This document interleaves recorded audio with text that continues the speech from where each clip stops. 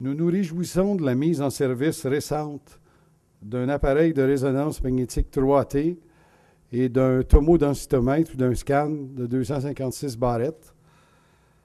L'appareil de résonance magnétique 3T est le premier à être utilisé pour des fins cliniques au Québec.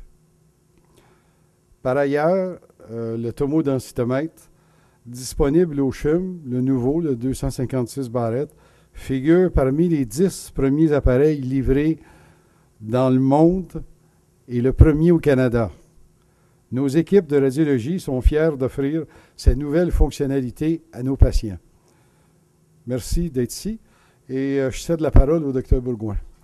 Alors, euh, le premier appareil, c'est le tomodensitomètre Brilliance ICT, celui qui est installé à l'Hôtel Dieu et que vous allez euh, visiter tout à l'heure. En fait, euh, c'est le premier appareil installé au Québec qui, permet d'obtenir 256 coupes euh, d'un patient par rotation. Alors, chaque fois que notre appareil, nos détecteurs font un tour, ils euh, captent 256 images à travers autant de coupes à travers le patient. Alors, c'est quoi? C'est des coupes ultra minces qui permettent ensuite de reconstruire ces informations-là en trois dimensions et donner littéralement un cœur comme si on le regardait euh, en temps réel. Euh, ce, qui nous, euh, ce qui distingue l'appareil, c'est évidemment la vitesse, la résolution temporelle. Plus vous, vous pouvez acquérir d'images rapidement, plus ce que vous obtenez, en fait, c'est un gel du cœur, parce que le cœur étant un, organe qui n'est pas stationnaire comme le cerveau, ben, il faut être capable de l'immobiliser pour prendre des images de qualité. Évidemment, ici, il y a toujours des images assez exceptionnelles de littéralement du cou jusqu'aux jambes, jusqu'à la racine des jambes.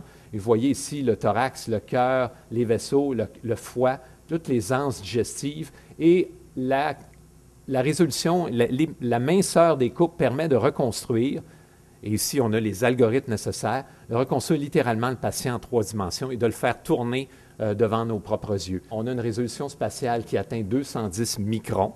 Alors ça aussi, c'est très euh, spécifique. C'est inégalé actuellement euh, au Québec et dans les plus hautes résolutions disponibles en Amérique du Nord. Aujourd'hui, le tomodensitométre qu'on a installé, la compagnie Philips, permet une réduction de la dose jusqu'à 3 millisieverts, qui est 50% même plus bas que la moyenne des examens hémodynamiques. Alors ça, c'est vraiment important.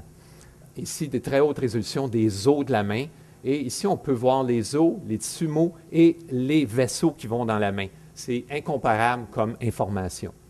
Et euh, le tomodensitométre qu'on a installé, parce qu'il acquiert beaucoup plus de coupes par rotation, peut avoir des coupes plus minces, plus rapidement, moins de radiation et obtient ce, résultat-là. Beaucoup plus, euh, avec beaucoup moins de conséquences, puis beaucoup plus de rapidité que les tomodensitométres existants toujours à haute définition, avec peu de radiation et très rapide. Alors, essentiellement, c'est ça, le Brilliance ICT. J'ai voulu faire ressortir les caractéristiques euh, de cet appareil-là, qui est une nouveauté euh, au Canada. On est très fiers au CHUM et au Québec d'avoir le premier appareil avec une telle puissance.